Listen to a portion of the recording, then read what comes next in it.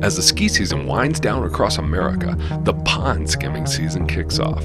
Just about every resort has a closing day pond skimming event, but did you know that this wacky display started right here in Winter Park more than 40 years ago?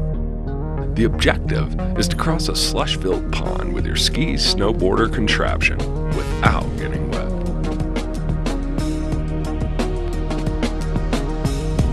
We dug up some old footage from the early days. Enjoy a little blast from the past.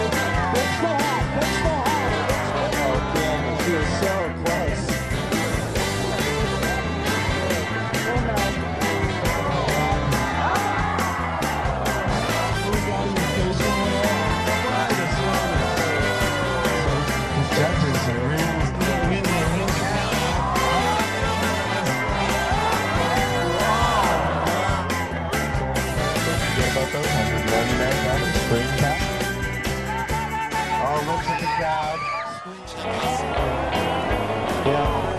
he can dive in. Can